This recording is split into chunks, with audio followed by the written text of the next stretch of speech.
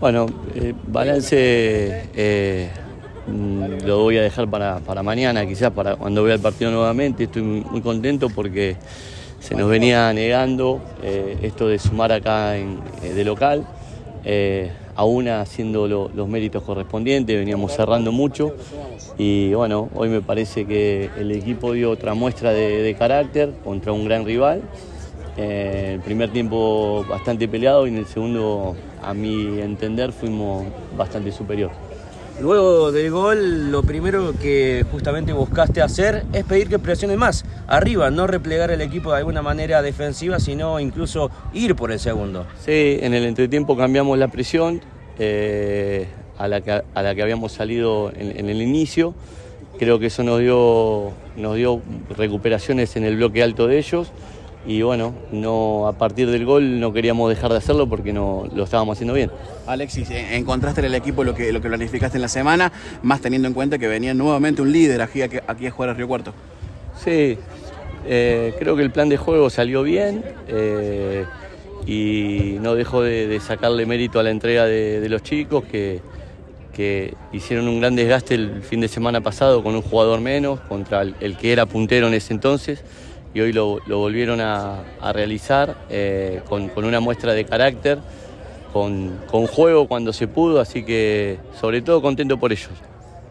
En muchas ocasiones se dieron partidos en donde el funcionamiento fue bueno, pero no se daba a que la pelota ingresara debajo de los tres palos. ¿Sienten que están mejorando en lo que refiere a la contundencia y si se quiere un poco de justicia con respecto a lo plasmado en los últimos encuentros?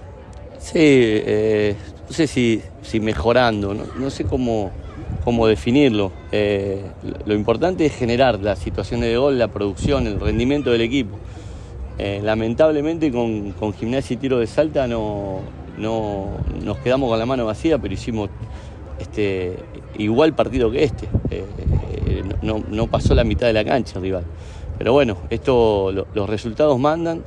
Eh, por eso es importante que, al rendimiento o a la producción del equipo lo acompañe sumar de a tres, sobre todo eh, en casa. Y, bueno, ojalá eh, con este triunfo hayamos podido destrabar eso de generar, generar y no, y no convertir y ahora estar un poquito más tranquilos. Importante que se haya, hayan podido hacer un buen partido con algunas bajas como la de Santi Romero, la de Angelini, la de Vale Fenoglio. Sí, sí.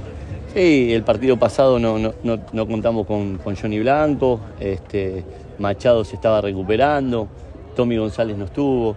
Bueno, cosas que pasan en, un, proceso. Eh, por suerte los chicos que no les toca de, movida y, entran desde el banco lo están haciendo muy bien también. Eh, y eso a nosotros como cuerpo técnico nos transmite seguridad.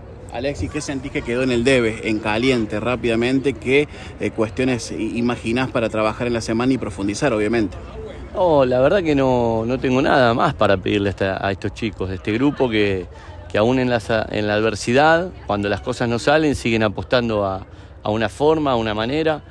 Eh, por ahí, si me decís algo, es eh, poder haber convertido otro gol, que, tuvimos la posibilidad y no, y no terminar tan ajustado el partido.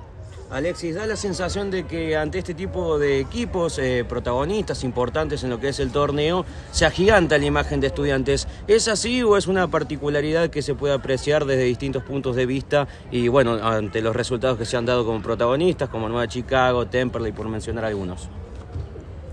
Si uno seguía por el resultado, sí, pero insisto, con Almirante Brown y con Gimnasia y Tiro de Salto y con Aldo Civi, que fueron los últimos tres de local, me parece que hicimos muchísimo más que el rival, como para quedarnos con, el triunfo.